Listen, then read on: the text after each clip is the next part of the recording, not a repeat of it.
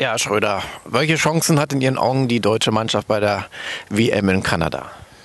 Also ich denke, dass wir, wenn wir dieses Jahr den WM-Titel nicht schaffen, dann ist eigentlich wahrscheinlich nur wäre nur Frankreich dran schuld, weil es passieren kann, dass wir im Viertelfinale auf Frankreich stoßen.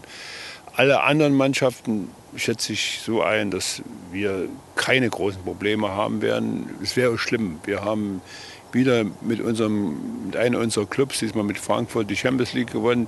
Seit Jahren bestimmen wir den, den europäischen Fußball äh, in, im Clubbereich. Wir haben äh, x Titel geholt im Nachwuchsbereich, drum und dran. Die Mannschaft spielt seit Jahren zusammen.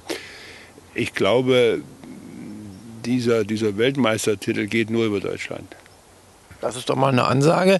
Was erwarten Sie von Ihren drei Schützlingen? Also Tabea Kemme, Jenny Kramer ist dabei und Pauline Bremer?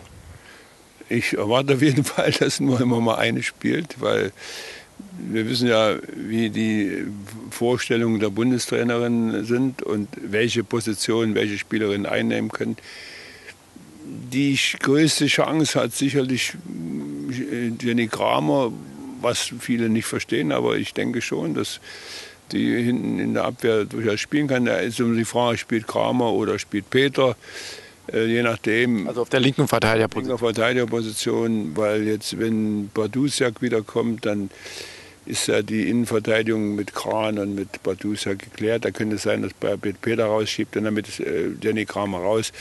Äh, Bremer, nehme ich mal an, wird nur sporadisch eingewechselt, weil wir ja ein anderes System spielen. Die spielen ja ein 4-2-3-1, also mit einer Spitze, wahrscheinlich mit Celia. Und da ist äh, Bremer. Jokerrolle vielleicht. Ja, da könnte sie, oder wenn man dann mit zwei oder drei Stürmern spielt. Kemme, weiß ich gar nicht, wo ich sie hinstellen soll. Bei uns spielt sie jetzt im zentralen Mittelfeld gut, sehr gut gespielt jetzt auch. Da können sie nur rechten Verteidiger spielen. Da spielt äh, Meier und dann im rechten Mittelfeld spielt äh, Bianca Schmidt, die ja zukünftig bei uns spielt.